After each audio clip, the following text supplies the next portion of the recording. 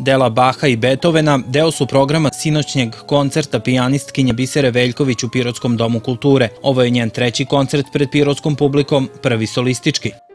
Počinjem Bachom, zatim bit će na repertoaru Beethoven, sonata Schubertova, malo Chopina i Brahms za kraj. Tako da mislim da će onako biti vrlo pristupačan program za širi auditoriju. Trenutno je to taj repertoar, ovo je samo jedan u nizu koncerata koji ovaj, izvodim na, na teritoriji naše Srbije.